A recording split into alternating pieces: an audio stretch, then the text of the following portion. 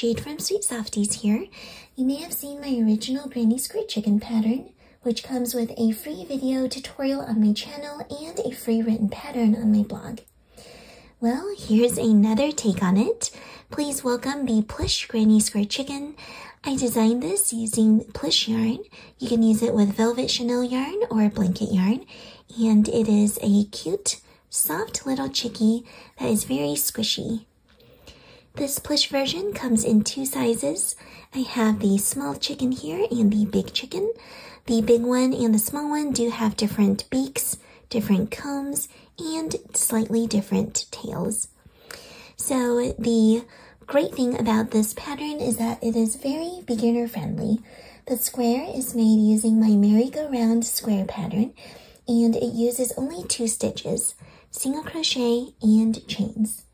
The free version of this pattern includes the small chicken.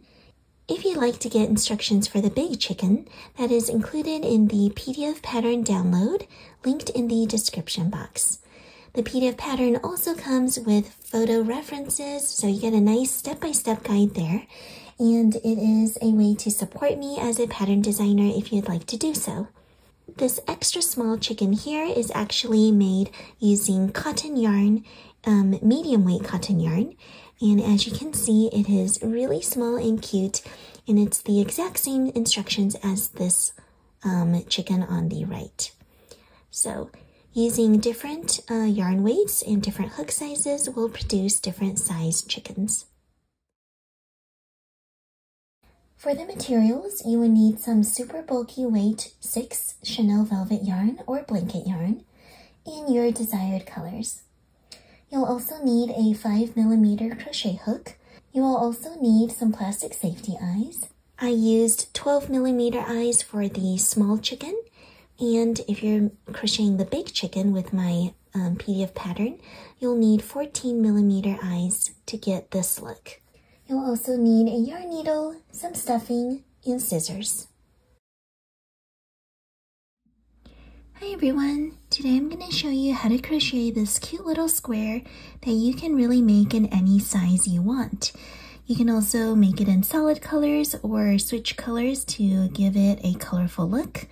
And um, this is a very simple square that uses only two stitches. You just need to know single crochets and chains. Let's go ahead and begin. For round one, you are going to start with two chains. So here I'm going to begin my two chains with a slip knot. And here's the first chain and the second chain. In that second chain from the hook is where you're going to insert all your stitches.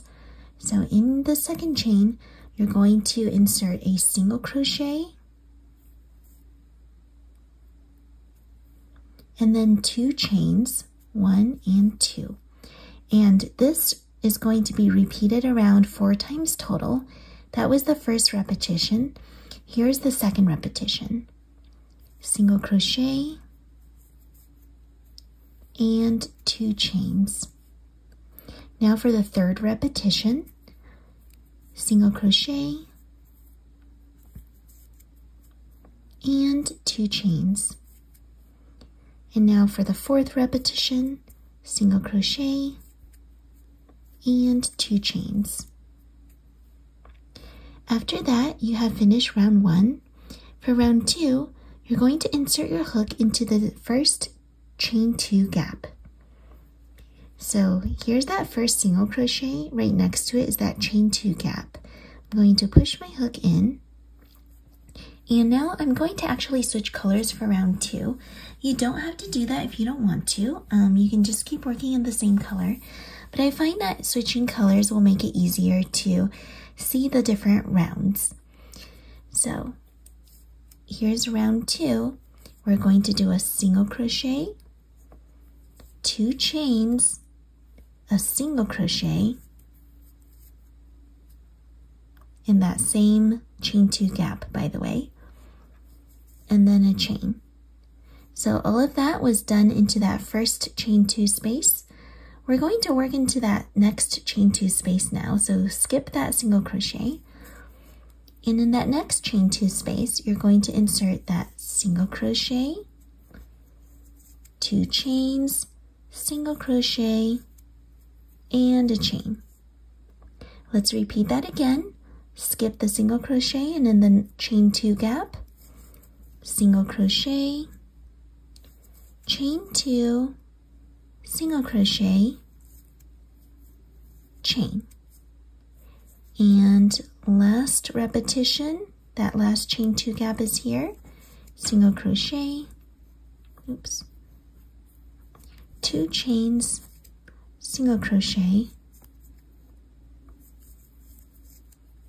and chain. And that is that for round number two.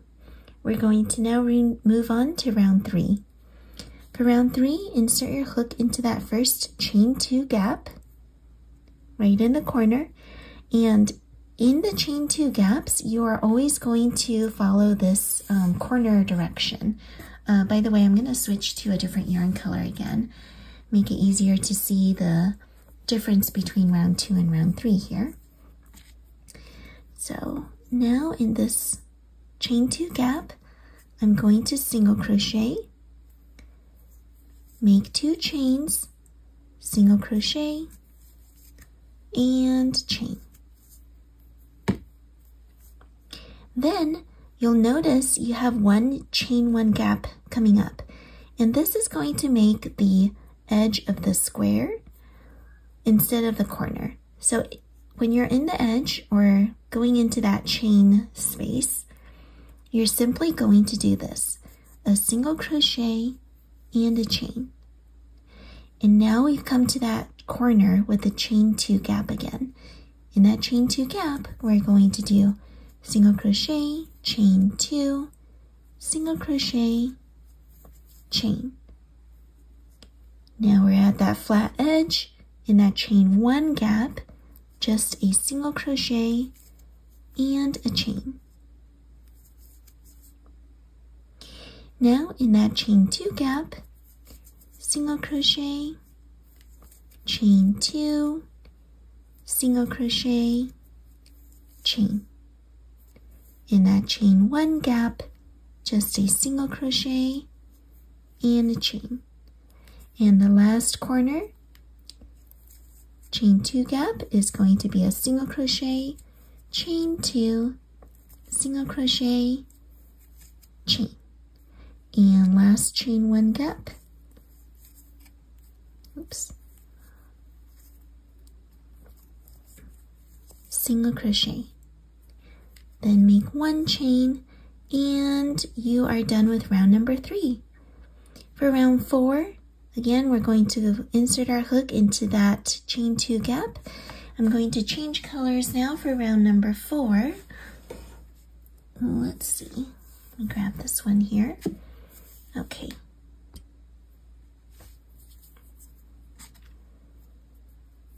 And since we're in that chain two gap, we're going to follow the corner directions again. Chain, uh, sorry, single crochet, chain two, and single crochet. Now we're on the, at the straight edge. Oops, chain. Okay, and then in the straight edge, the first chain one gap, we're going to do a single crochet and a chain. Here's another chain one gap, single crochet, and a chain.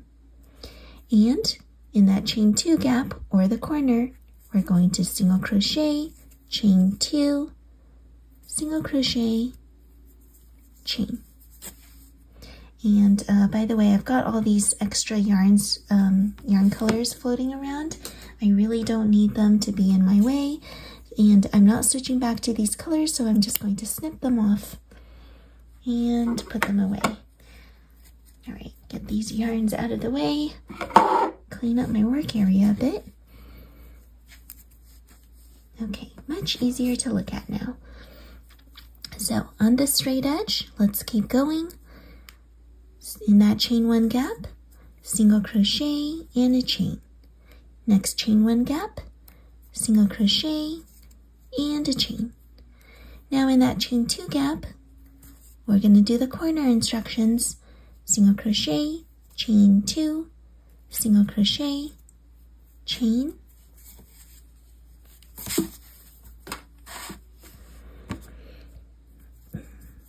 in that chain one space, single crochet, chain, in the chain one space, single crochet, chain, in that chain two space, single crochet, chain two, single crochet, chain. In that chain one space, single crochet and chain, and then in the next chain one space, single crochet and chain and you're gonna keep repeating this pattern around. So make sure you are inserting um, in each chain one gap, you're going to do just a single crochet in a chain. And in each corner or the chain two gaps, you're going to single crochet, chain two, and single crochet. I'm just going to work around for one last round here, following those instructions. With this, you can make your square as large as you'd like. And I personally love this pattern for um, the granny square chicken because it creates a dense stitch and so you won't have any stuffing poking out if you crochet tightly enough.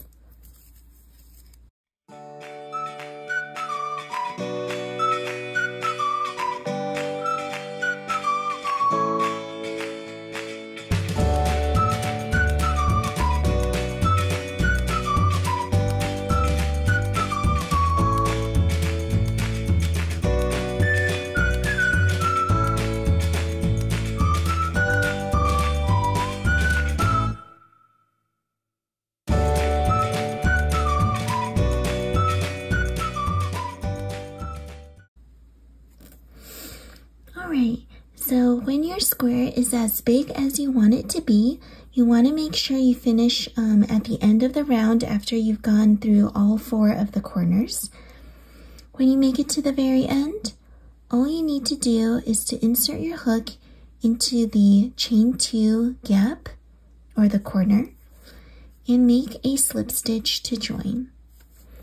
When you do that slip stitch, you can go ahead and fasten off You'll fasten off with a long tail if you're going to use this tail end to um, sew the granny square to something else. So for the chicken um, pattern, you're going to make sure you have a long tail for one of the squares that you use.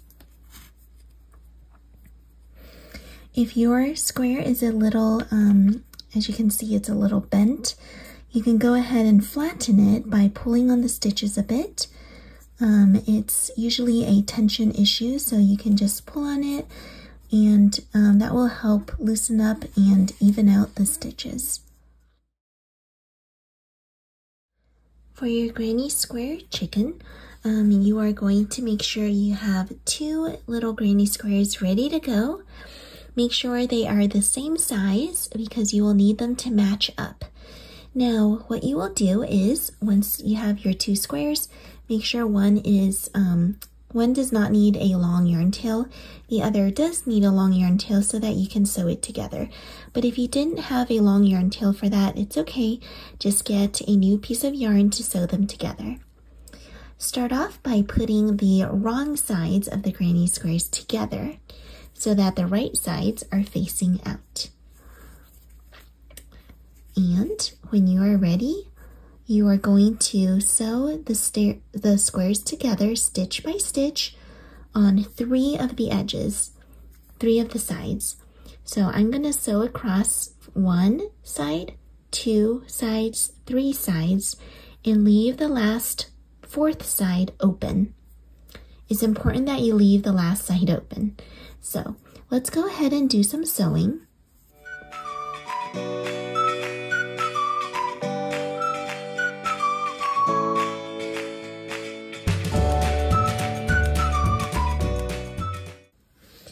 And I'm just doing a simple running stitch here, going back and forth from one stitch um, on the back to the adjacent stitch in the front layer.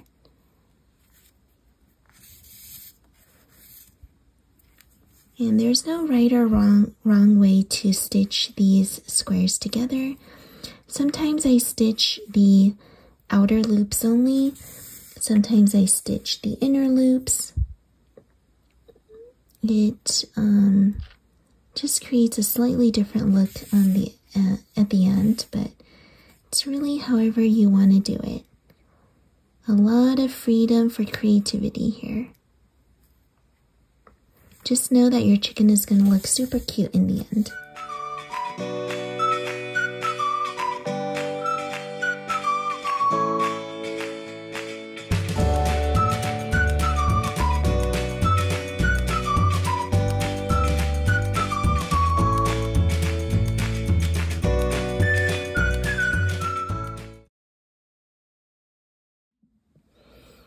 Here, three sides of my square are sewn.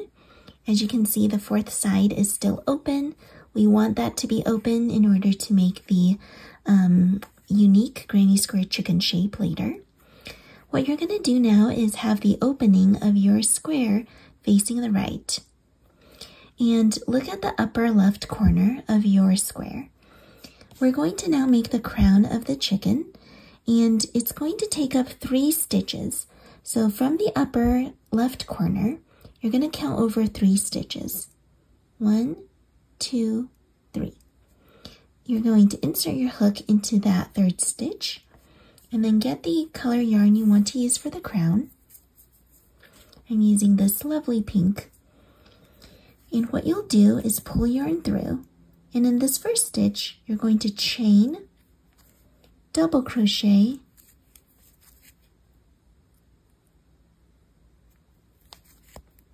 oops. All right there's my double crochet chain and then slip stitch all into that same stitch. Now we're going to repeat those instructions. Chain double crochet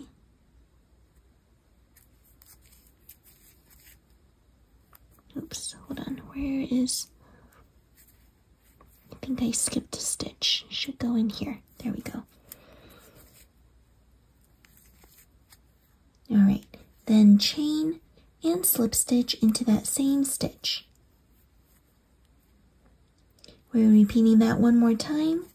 Chain, double crochet, chain, and slip stitch.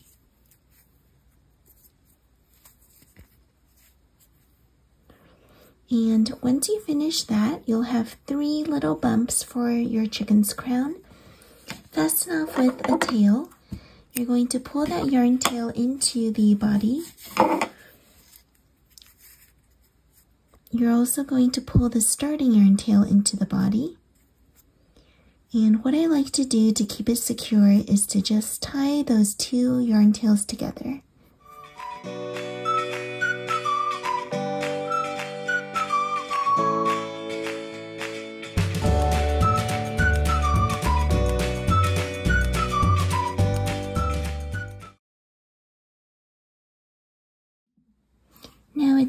Crochet the little beak onto your chicken.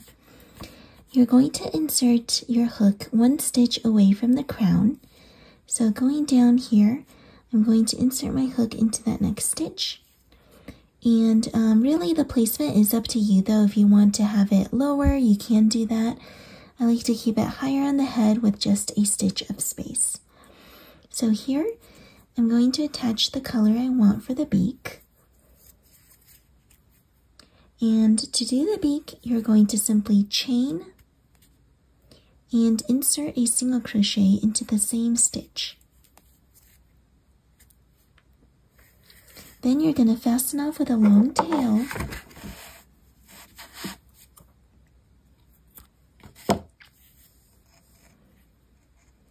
and you're going to pull your yarn tail back into the body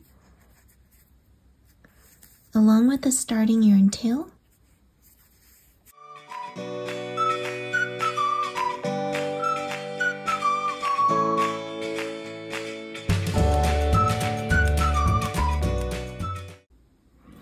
and what you can do is pinch your chicken's beak a little bit to give it some more shape. All right. So that's that for the crown and for the beak. Let's go ahead and add in some plastic safety eyes. Here I have six millimeter plastic safety eyes. You can use any size you want, but for a small chicken, I like to use small eyes. Now just insert your hook excuse me, insert your eye into the chain two gap at the corner and you can go ahead and put it lower if you want or higher. I like to put my eyes higher into um, in between that second to last round from the very edge. So pushing that eye in, you can go ahead and do that for both sides. like so. And secure your eye using the backings.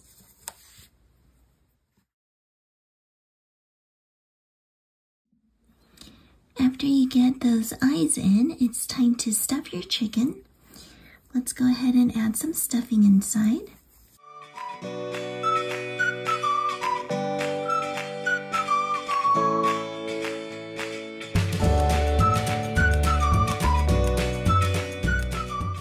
After stuffing, it's time to sew up that bottom, uh, that open fourth side. So what you'll do is take the center of the top and match it with the center of the bottom. So take those two corners and you're going to pinch them together. It will create a triangular shape for your chicken and you're going to basically sew the sides together. So if you have um, a long yarn tail from the center. You can start from the center and work out, or you can snip off a new yarn tail and sew from one side to the other.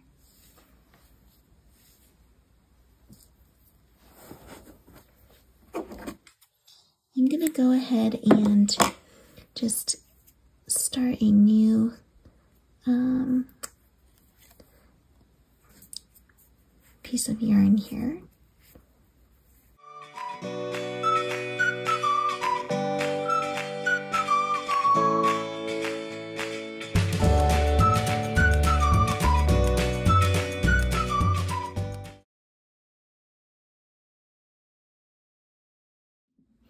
Now we're going to crochet the tail for your little chicken. The tail is going to happen at that back edge where you just seamed together, and it's going to take up three stitches of space. So counting the, um, going from the center, that's going to be where one of the stitches goes. You're going to move one stitch over to the right and insert your hook. That's going to be the first tail feather. And go ahead and grab the yarn you want to use for the tail. For the tail, you're going to pull yarn through, chain two, double crochet,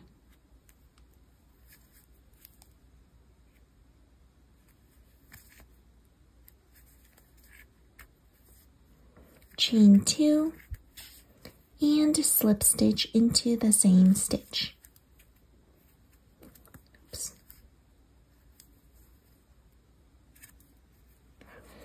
That creates one tail feather. Now we're going to go into the um, next stitch and I'm putting my hook into the center now.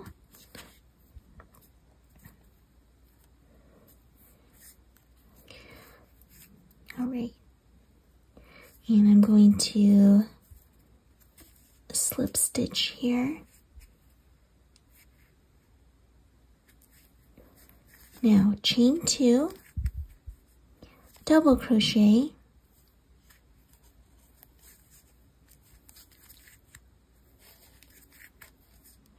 Chain two. And slip stitch all in that same stitch.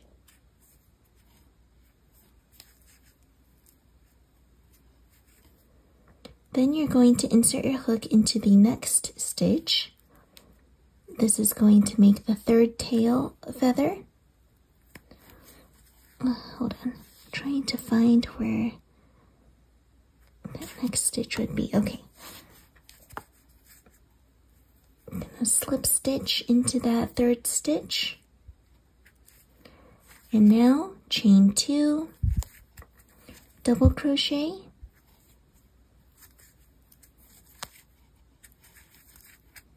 chain two, and double slip stitch into the same stitch.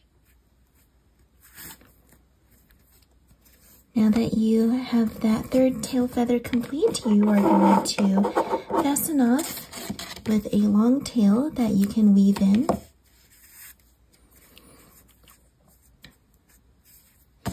Go ahead and weave in both the starting and the ending yarn tails.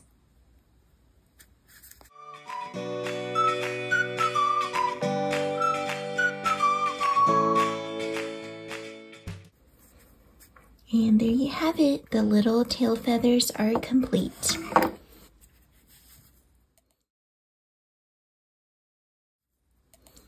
Here is what your chicken will look like when you are all done.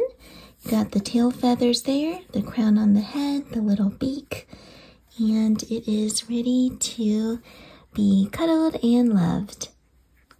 You can go ahead and turn this cute little hen into a keychain or if you use this pattern and make it um, even larger with um, more rounds for the granny square, um, I recommend checking out my bigger hen here. It's made in the same way, except the crown and the beak and the tail are done slightly differently to accommodate a larger hen. Alright, thanks so much for watching. Happy crocheting! Bye now.